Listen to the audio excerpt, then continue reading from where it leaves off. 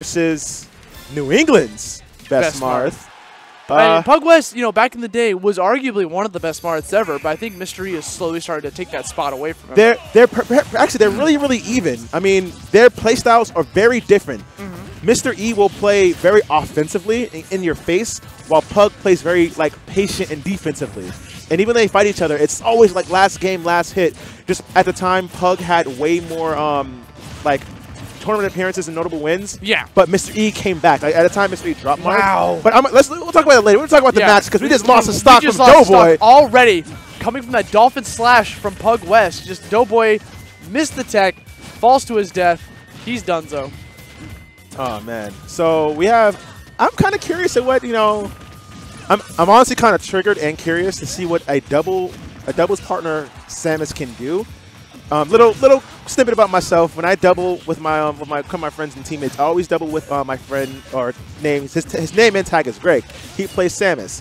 It's very hard with the hitboxes, with the charge shots, with the missiles Yeah. and with her aerial time and what she can do.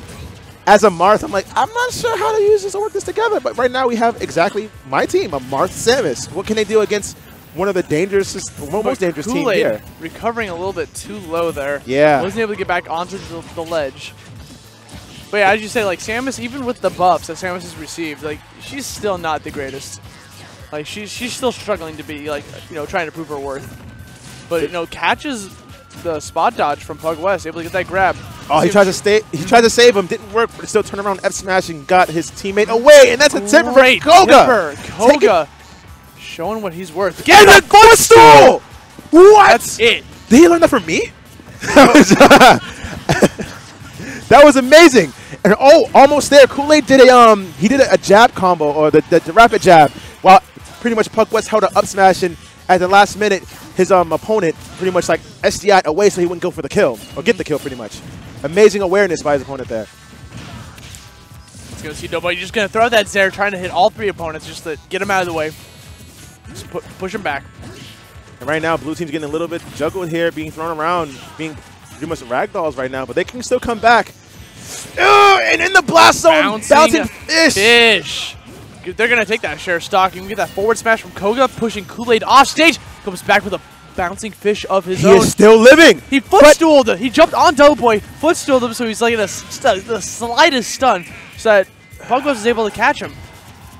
We see that uh, forward tilt coming from Pug West, interrupting uh, the charge shot from Yeah. Doeboy, so he was not able to shoot off. Or was that jab? I didn't, I quite, catch it. The attack. See Doeboy back off stage. I'm not sure back on there. We see this team combo happening. Oh my gosh. They're juggling him. See that forward smash coming from Pug West. Let's see if Doeboy can get back on the stage. He's got to take off three different stocks. Things are not looking so Oh hot. my Great gosh, good tech tech. from Doeboy, knowing that going to go for that down air from Kool-Aid. We see him catching him with that up And air, and that's going to catch him. that was actually an amazing little setup. He said, all right, he's going to do this, and let me just hit him out of it, and you go for your hit. It was, a respectable tech coming from Doeboy, knowing, like, like you said, either he was he was trying to buffer an air dodge, or he knew he was going to get hit, so he ended up pushing that trigger on the edge of the stage, and he lived just a little bit longer. But that was not actually that bad coming from um, Koga and Doeboy. That was really They put up a fight. They put up a fight. Let's see if they can like you know bring it back a little, a little bit more. Or is it possibly going to be a character swap? See him hovering over some characters. Don't do it. See him hovering Don't- over Judith, but trying to get. don't. He's trying to get a reaction from the crowd. See if like, hey crowd, should I do this? No. Ally known to do this. Don't do it. Always like uh, it, it's so fun to just like hover your you know cursor over a character, just see what you know. He's gonna stick with Marth though. I mean, it's working. You got, Okay. Like especially that time when he got that tippered F smash, went off stage, got the footstool on Pug West. And I'm actually surprised he didn't go Lucina. He's really he's a Lucina slash Marth kind of like main. yeah, And you know, Lucina is really really great in dubs because she doesn't have to rely on spacing to get kill. He'll get a kill pretty much. You can just like do the same thing Marth does, but at sometimes you might kill a little earlier, and that kind of can come out to your favor, especially in doubles when everything's hectic. You always can't pretty much you know micro space here and there because there's so much going on. And a little a beat to punish for that uh, little flop by Kool Aid doing um boun- not bouncing fish um her grenade flash grenade. So you're not be out of shield coming from Doeboy, just trying to push Pug West away out of his zone. Like, just get out of my face. That was a great setup from Doeboy, getting that Zare into a forward smash. And he's just shoot, shooting off these random charge shots, just hitting the opponents. Oh my god! He's been on point with them so far. You see Koga trying to go off stage, You get something against Pug West. Great counter coming from Pug West, uh, you know, abusing the active hitbox coming from Doeboy with the Doeboy with the up B. I wanted to actually when he actually up aired, I was hoping to see um pretty much Pug or whoever was a mark. I'm not even sure what just happened. Jump over and hopefully um shield break, but that could have been his teammate. And good running up up smash right there, taking Koga out right now with Doeboy off stage. Can he make it back? No, he Not cannot. at all, man. He- we saw Pug West was on point there. Koga struggling to get back himself, but manages to get back onto the stage no matter what. See Pug West dashing back and forth, trying to find something. You see Koga throwing out that up smash. If Pug West would have been caught by that, that would have cost his stock. But luckily, he was able to hit him out of it. So see Koga once again throwing out these up smashes. Really scary situation, honestly. I, I don't know if Doeboy should throw up rolls there because Samus's roll was very, very long, especially in doubles. It's pretty much guaranteed to punish.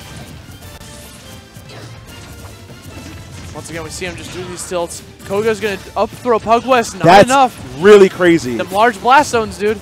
Like- Ba- Battlefield has large blast zones. Up throw normally kills at 150, and he lived at like 168. Good tech. coming from Koga. We see, you know, Pug West, you know, trying to recover that Dolphin Slash. He knew he was going to go for it, so he, you know, preemptive that R. Able to get back onto the stage. See, just a lot of people, like, a lot of Marths, Marths throwing out aerials, hitting their opponents. Hear their active hitbox. It's it funny, is. honestly, because even though they're they're almost doing the same thing, Kool Aid and um, Kool Aid, well, not even Kool Aid itself. Sheik is pretty much dubbed to be Marth 2.0 in this game, but more on the melee side. Pretty much, you can pretty much jump and fair fair pressure your opponent, wall them out, and then you know pretty much set up for a kill.